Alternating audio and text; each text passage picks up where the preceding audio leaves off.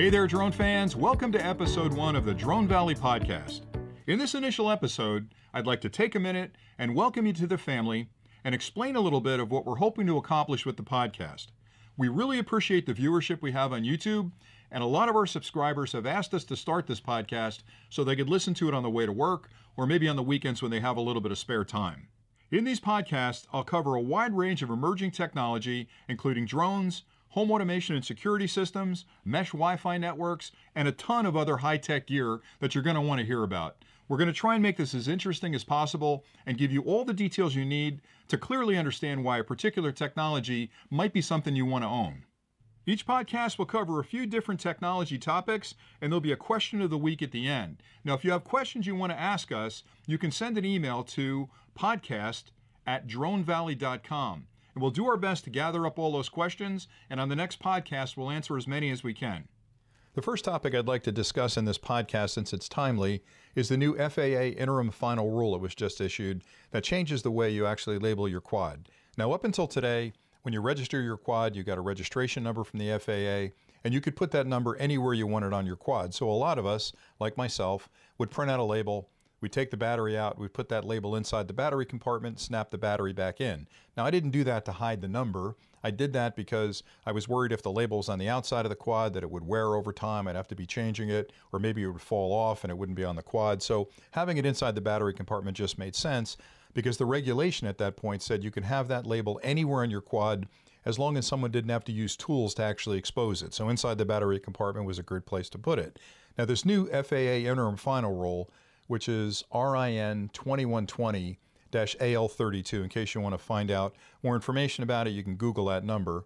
But that new interim final rule changes that to the regulation stating that that number has to be visible outside your quad. Now, the reason they're given for that is that there were certain first responders that were worried that if they come upon a quad in a field or on a road, they were worried that if they had to take the thing apart to get at that number, uh, heaven forbid it was some kind of uh, improvised explosive device. They just didn't want to be dealing with it. And also, when a quad crashes like that, you've got a LiPo battery in it, and LiPos can be fairly sensitive, so maybe the battery's damaged. They just didn't want to mess with it before they actually saw where that FAA number was. Now, for me, I don't know if that's enough of a justification to change the rule, but the honest truth is it's not that big a change, so I didn't find any real problem with it, and I'm more than happy to put my label on the outside of the quad rather than inside the quad. But it seems like we did a clip on the channel this week with it, and there were an awful lot of people that got very upset and very opinionated about the fact that we now had to put the label on the outside of the quad. And I was really confused by that. So I did want to give it a little bit of time here on the podcast to talk through it because, from my perspective, you know, I know a lot of people have opposition to it on the basis of, you know, civil liberties and why is the government tracking me and they have no business in my quad flying.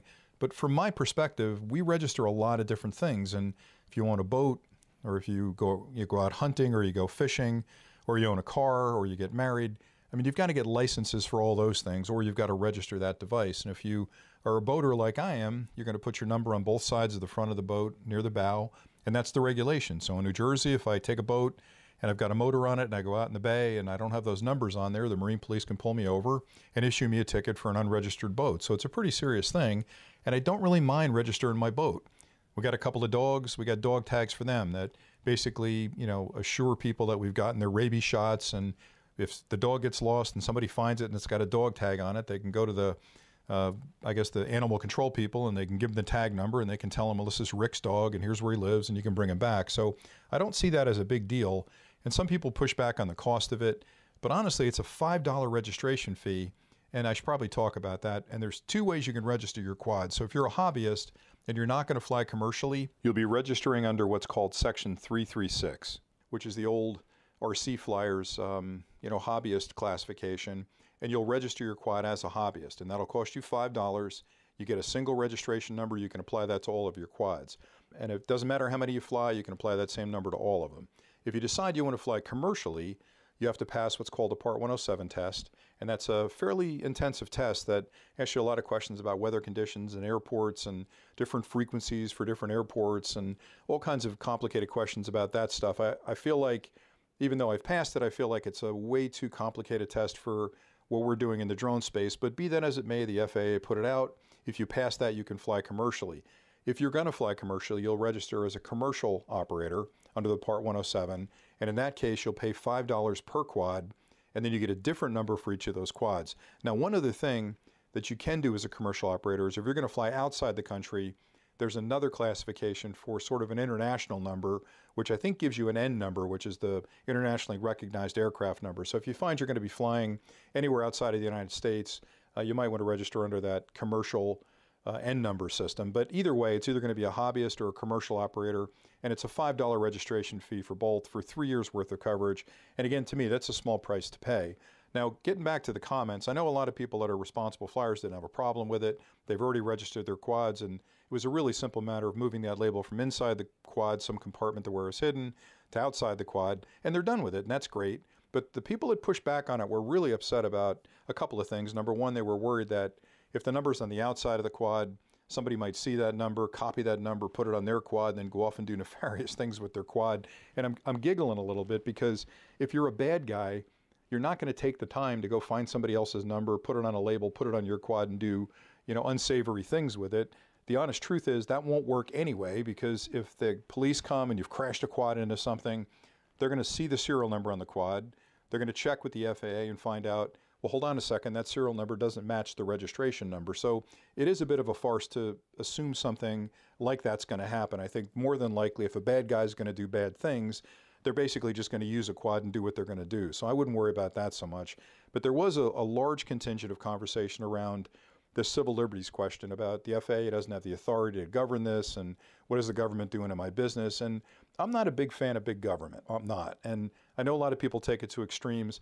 But for me, if there's something like this where there is sort of a sense of danger, right? I'm flying a quad, I'm sharing airspace with commercial flyers, I'm flying over people's properties, I'm flying near public areas. I have no problem with the FAA saying, we want you to register because as ridiculous as it sounds, you really are a pilot. You're flying an aircraft, and even though it's a tiny little aircraft, you're sharing airspace with really big aircraft. And the FAA has the responsibility of governing the national airspace. And basically, the way they phrase it is from the ground to the heavens.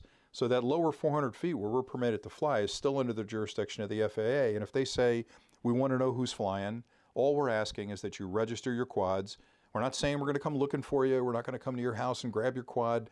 They're just asking you to register. I think it's a very simple thing, a very sane thing to do, and I've been a big proponent of supporting that. So if you're listening to the podcast and I'm upsetting you, I apologize. But as a responsible flyer, I feel like we all need to step up and just register the quads. And if you're upset about something, maybe pick a different fight. This is really a small difference in the change in the rule, and it's nothing to worry about. So that's pretty much all I wanted to say about that. But the thing you need to know that's really important is today's uh, February 26th when I'm recording this, 2019.